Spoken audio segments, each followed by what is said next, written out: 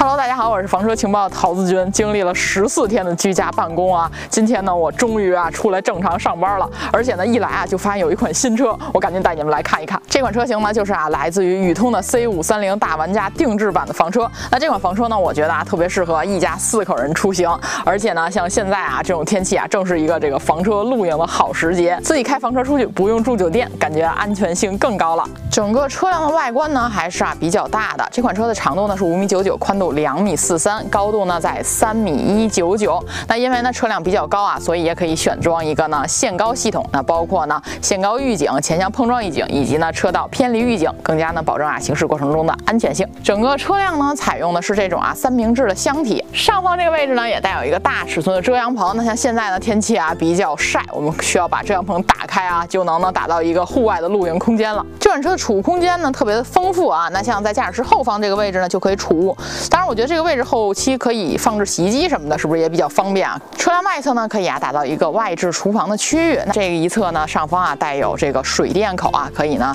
在车辆外侧的地方使用水电。同时呢，这个翻板这里啊还可以啊进行置物。后方这个位置呢是一个燃气灶，内部呢可以啊存放燃气罐。当然了，大家还可以选择柴油灶，这样直接和油箱就连接了，直接从油箱取油啊更加的方便一些。车辆的后方呢带有啊倒车影像摄像头以及倒车雷达，可以保证行车的安全性。当然了，在这个位置呢，还可以啊自己安装爬梯和自行车架。这款车呢带有一个非常大储物舱啊，这储物舱呢，我觉得啊在旅行当中还是非常必要的。大家可以看到啊，内部的空间呢是非常大的，在这个里侧呢也有储物的地方。那旁边这里啊还有一个小门，如果我们东西呢放在里侧的话，通过这个小门也是可以直接拿取的。这样的话，整体的便利度啊就更高了。底盘呢是采用啊专业的电泳工艺处理，而且车辆呢在出厂之前啊都经过了三千公里的综合路试，也就是说呢，它可以啊应对更加复杂的路况，整个车辆的安全性呢也更高。驾驶室呢还是同我们常见的依维柯房车是一样的。那在动力系统呢，标配的是 3.0T 的柴油发动机，匹配呢是采 F8AT 的手自一体的变速箱，最大功率呢是一百二十五千瓦，最大扭矩呢是四百牛米。那同时呢，因为啊车辆是比较高大的，后期呢我们啊可以安装一个这个流媒体的后视镜啊，来保证我们行驶过程中的一个安全性。主副驾驶座椅呢都可以啊选择和悬浮式的座椅，这样的话呢乘坐啊会更加的舒适一些。现在这个座椅呢也是啊带有三 C 认证的，而且带有扶手的这种座椅，而且呢它整个的这个头枕和座椅呢是这种啊一体式的设计啊，更加呀有这种啊运动的感觉，而且承托性呢也更好一些。驾驶室呢同后方车厢啊还是整体连通式的，那车辆内部内高呢可以啊达到两米一五，大高个呢都可以啊自由通行了。那在驾驶室上方这个位置呢还是额头床的区域，那这里呢带有一个比较大尺寸的电视啊，我们们可以呢直接坐在后方的沙发座椅上进行观看。那如果需要休息的话呢，车辆内部最大的一张床就位于驾驶室的上方，整张床的尺寸呢可以啊达到一米四乘两米二，这个位置呢睡下两个人绝对是非常宽敞的，而且呢上方以及左右两侧呢都带有啊这种通风采光窗，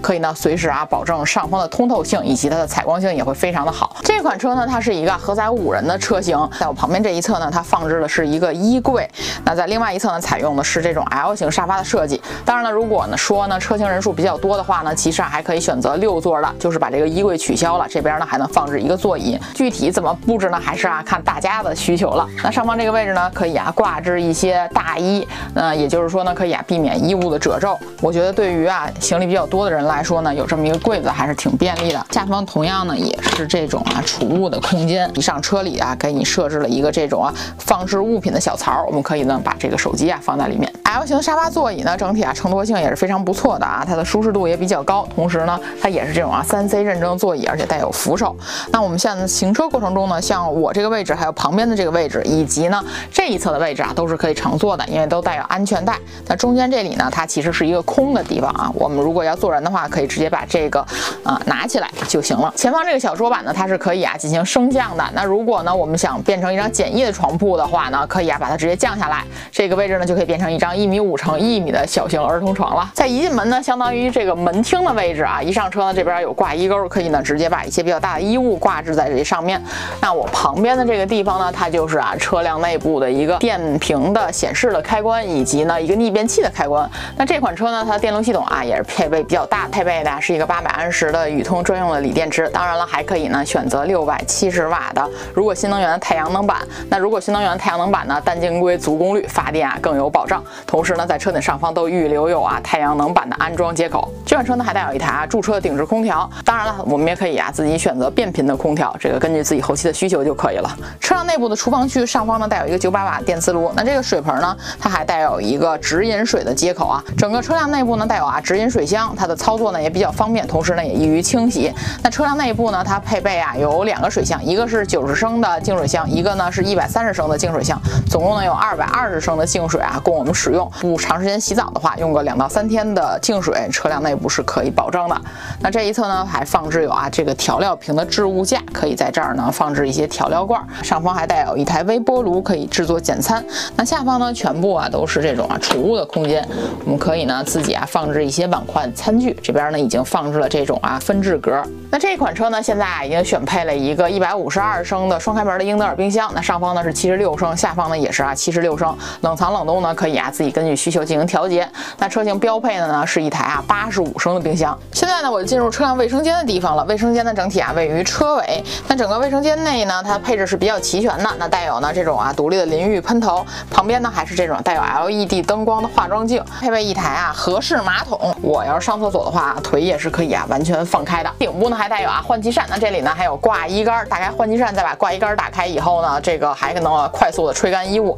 那同时呢内部啊还带有暖风的出风口。这款车的暖风系统呢也是它的一大亮点了，它总共呢配备十千瓦的独立燃油加热器。那这个燃油加热器呢在海拔三千五百米的地方呢也是啊可以正常使用的。这个燃油加热器呢可以啊保证热水暖风同时使用。当然了，热水暖风分开使用啊也是完全没有问题的。所以说呢，对于啊经常外出旅行的话呢，有这么一个十千瓦的燃油加热器，而且还是高原版的，也是很没有必要的。整车的管路系统呢都带有啊铜制的金属接头，可以呢有效的避免呢因为温度过低接头啊冻裂的这个痛点了。后床啊它整个长度是一米九，宽度呢是一米一三。如果是一个成年人带一个小孩睡的话呢，啊也还是可以满足的。那后方这里呢做的一个床头墙，那同时呢两侧都有这种阅读灯，以及呢给手机充电的这个充电接口。那整个后方这个位置呢都带有这种置物袋啊，可以随时呢放置一些物品。那我们可以看到啊，像这个会客区以及后方的床铺的区呢，都带有啊这种大尺寸的置物柜子，有分隔的或者不分隔的，这个可以啊根据自己的需求来进行一下选择。